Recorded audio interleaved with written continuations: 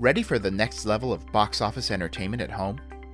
If you subscribe to HBO, you've got full access to HBO Max, a new streaming service by HBO. You won't be able to access this service from your set top box. You'll need to log in on a smart TV or app enabled streaming device.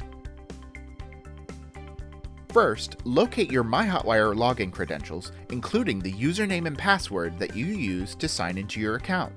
Be sure to keep them handy, as you will need to enter them during this process. Next, visit HBOMax.com and then click Sign In. Select the Sign In through TV or mobile provider button. Scroll down and select View All Providers at the bottom of the page. From the alphabetical list of all providers, scroll down until you see Hotwire Communications and select it.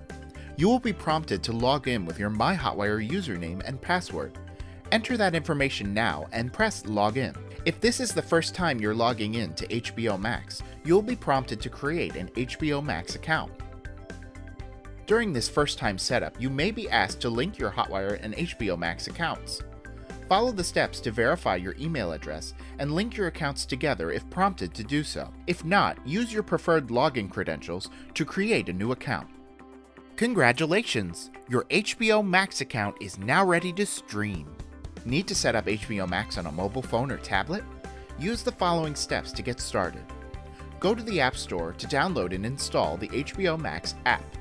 Once it's installed, launch the app and click the icon in the bottom right corner.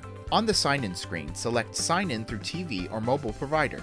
You may be automatically prompted to log in with your cellular provider. If this happens, scroll down and select View All Providers. Select Hotwire Communications from the list and enter your My Hotwire account information. You'll know it's correct if you see the Hotwire logo at the top.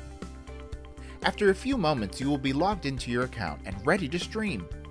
If you're setting up HBO Max on another streaming enabled device, like a gaming console, smart TV, or USB casting stick, you'll also need to keep another internet connected device, like a laptop, smartphone, or tablet, handy for the first time setup. After downloading and installing the HBO Max app on your streaming device, launch the app and navigate to the sign in screen. Select Sign in through TV or mobile provider. A unique code will appear on your screen. Be sure to leave this code on screen as you complete the next steps. Now grab your laptop, smartphone, or tablet and go to hbomax.com slash TV sign-in and enter the code on your TV screen.